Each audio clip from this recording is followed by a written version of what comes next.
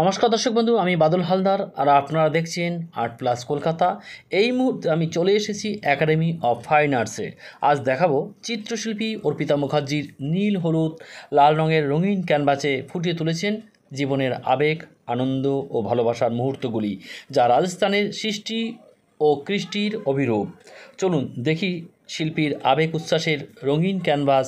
কথা বলব শিল্পীর সঙ্গে নমস্কার আমি অর্পিতা মুখার্জি আমি হুগলি থেকে আসছি আমার এক্সিবিশন এখানে চতুর্থ একক প্রদর্শনী চলছে তো আমার শুভ উদ্বোধন হয়েছে শুক্রবার, গত শুক্রবার, অর্থাৎ উনিশে ফেব্রুয়ারি।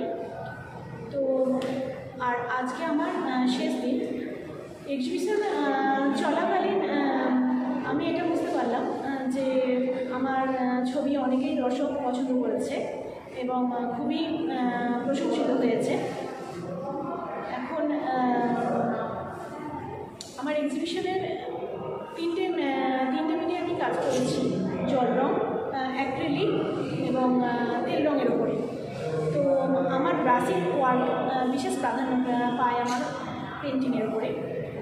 আমি মূলত এই এক্সিবিশনে একটা জিনিস দেখাতে চেয়েছি যে আমাদের প্রকৃতি, আমাদের নারী পুরুষ প্রকৃতির মধ্যে যে প্রেম ভালোবাসা এবং আবেগ যে আছে, সেটা আমি ফুটিয়ে তুলতে চাইছি।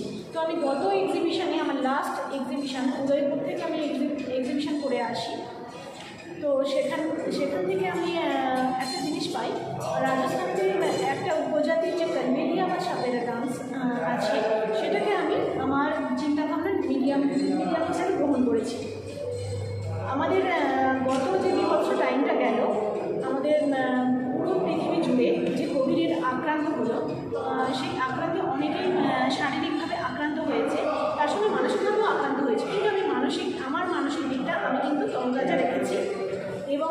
আক্রান্তে আমি আক্রান্তিত হইনি হওয়ার চেষ্টাও করিনি এবং হতেও দিইনি তাই আমি আমার পেন্টিংগুলি আনন্দময় ভালোবাসা এবং আবেগপূর্ণভাবে ওর মধ্যেই আমি নিজেকে তৈরি রেখেছিলাম এবং ওর মধ্যেই আমি নিজেকে ঢুকে রেখেছিলাম।